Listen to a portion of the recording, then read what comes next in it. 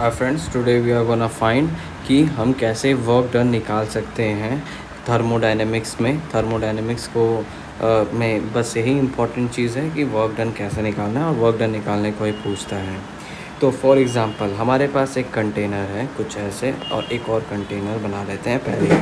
तो इसमें मान लो एक ऐसे कुछ रखा हुआ था और इस पर एक पिस्टन रखा हुआ था।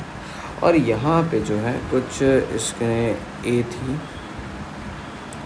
ये पिस्टन की कुछ एरिया थी, ठीक है? और ये जो है, ये चेंज हो जा रहा है और यहाँ पे एक, कुछ ऐसा ही और मेक एक सेकेंड फॉर मिनट हाँ नाउ सही है। तो एक सेकेंड हाँ तो यहाँ पे इस पे एक और पिस्टन रख दिया गया है और इसकी वॉल्यूम को चेंज कर दिया गया है। मेरे ख्याल से सही से वॉल्यूम वॉल्यूम नहीं बन पाया है। चलो, यहाँ से करते हैं। तो यहाँ पे वॉल्यूम हो गया है। इसने पिस्टन यहाँ पे रख दिया गया। और यहाँ पे अभी भी इसकी एरिया जो है वो ए है। ठीक है? Now what we have to do यहाँ पे से कुछ हम यहाँ पे देख सकते हैं कि चेंज इन वॉल्यूम यहाँ पे ये इंडिकेट कर रहा है वी डेल्टा वी तो ये डेल्टा वी है, जहाँ पे हम देख सकते हैं। और ये इसका एरिया है। ठीक है? और हमसे पूछा जा रहा है, और ये वॉल्यूम जो है, ये हो गया कुछ वी वन है, ठीक है? और ये जो है, ये कुछ वी टू है। हमसे पूछा जा रहा है, डेल्टा वी क्या होगा? तो हम तो नॉर्मली कह सकते हैं कि V two minus V one that's the delta V but क्या पता कि ये वॉल्यूम दिया ही ना हो। बट एक्चुअली यस ये वॉल्यूम दिया ही ना हो। हमसे पूछ ले कि ये डेल्टा वी कितना है, ये बताओ बेटा तो और वॉल्यूम हमें ये वाला दिया ही ना हो, केवल एक दे दिया हो। या वो भी ना दिया हो। बस ये कह दिया हो कि चेंज इन वॉल्यूम जो है, वो कुछ एक्स है या फिर वाई है, फिर या जेड है, कुछ भी है। तो इसको निकालने के लिए सबसे पहले हमें कुछ चीज़ें जाननी होंगी। हमें यह जानना है कि सबसे पहले वर्क डन कितना क्या होता है। तो वर्क डन क्या है? F into D cos theta होता है, बिल्कुल होता है। ठीक है? Work done is equal to F into D cos theta होता है। ठीक है? नाइस तो ये बताओ, सबसे ये हो गया अपना। और यहाँ पे अपना pressure is equals to force upon area होता है। अभी इसका यूज़ नहीं है बट हाँ इसका यूज़ है। इसको याद रहेगा, अभी से दिख दिया हूँ, ताकि माइंड में ये चलता रहे कि हाँ इसका कहीं ना कहीं यूज़ होने वाला है। देखो, हमें पता है कि ये जो है, ये कुछ हाइट एच है, इसका एरिया ये है। तो अगर हमसे कहा जाए कि इसका तुम्हें निकालना है क्या?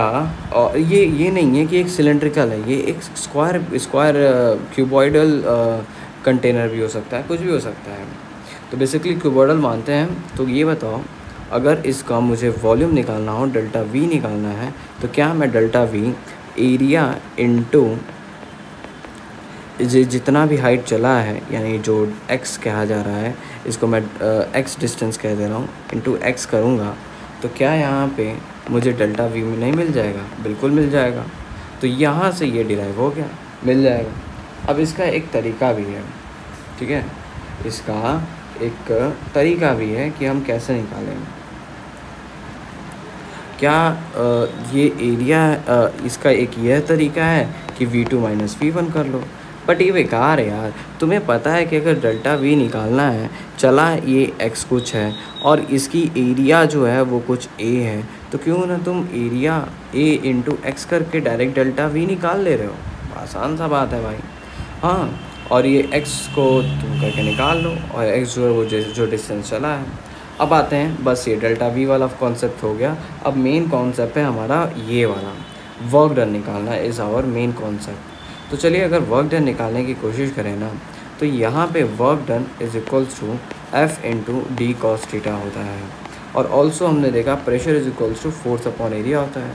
तो क्या यहाँ पे force is equals to pressure into area होगा? बिल्कुल होगा। तो मैं यहाँ पे प्लेस कर देता हूँ। तो यहाँ पे वर्क डन बराबर pressure into area into D cos theta वह डी कॉस या डी जो भी मानो, ये जो है, ये ये लेंथ है कितना ये चला है, ये जो ये लेंथ है ना, ये ये ये है अपना डी कॉस थीटा तो मैं इसको क्या, मैं एक्स मान सकता हूँ? मैंने माना भी था तो ये एक्स हो गया। तो वर्क डन बराबर pressure into area into X और ये बताओ एरिया इंटू एक्स हमने अभी निकाला था विच इज़ डेल्टा वी तो क्या मैं वर्क डन बराबर डेल्टा वी इंटू प्रेशर वो भी कहाँ का एक्सटर्नल प्रेशर क्या मैं ये लिख सकता हूँ? बिल्कुल लिख सकता हूँ। बट यहाँ पे अभी ये एक अधूरा है। ये क्यों अधूरा है?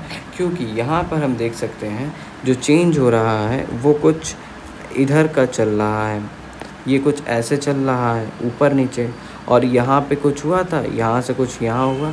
एंगल कितना बना है? तो 180 डिग्री। और यहाँ पे कॉस टीटा की कॉस 180 डिग्री जो होता है, वो होता है अपना माइनस वन तो जब इससे मल्टीप्लाई कर डालेंगे तो यहाँ पे वर्क डन बराबर minus P external delta V हो जाएगा।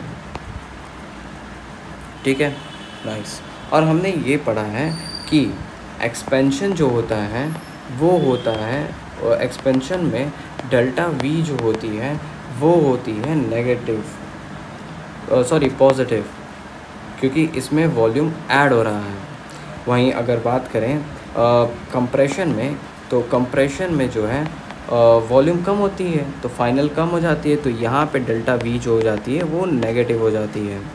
तो ये बताओ, अगर यहाँ पे एक्सपेंशन होगा तो क्या यहाँ पे वर्क डन नेगेटिव में ही आएगा? बिल्कुल, वहीं अगर कंप्रेशन हो जाए तो क्या वर्क डन यहाँ पे पॉजिटिव में आएगा? बिल्कुल आएगा। मेरे ख्याल से अब समझ गए होंगे हम लोग। ठीक है, अब बात करते हैं कि वर्क डन निकालना है तीन केसेस में। पहला केस है कांस्टेंट कांस्टेंट कांस्टेंट प्रेशर पे। एक मिनट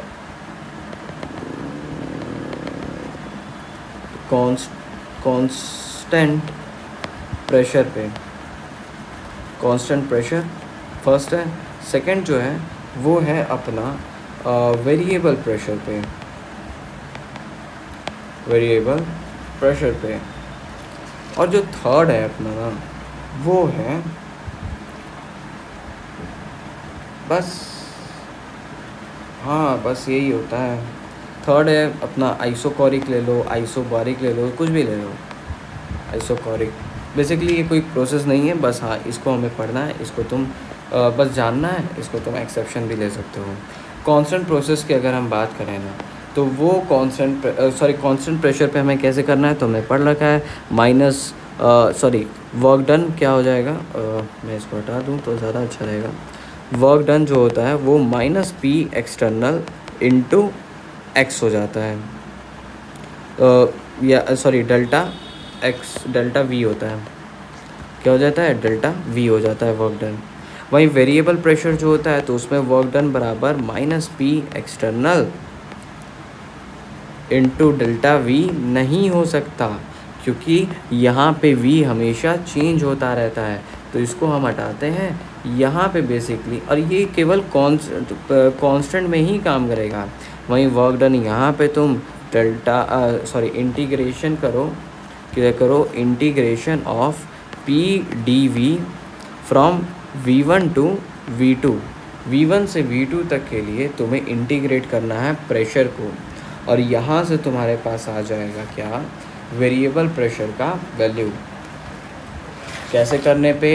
तो उसे इंटीग्रेट करने पे हमें आएगा। ठीक है? मेरे ख्याल से समझ गए? आइसोकॉरिक में क्या होता है? कि वॉल्यूम जो होता है, वो वो कांस्टेंट होता है। तो जब वॉल्यूम यहाँ पे कांस्टेंट हो जाएगा तो डेल्टा वी की वैल्यू ज़ीरो हो जाएगी। अरे भाई टू है।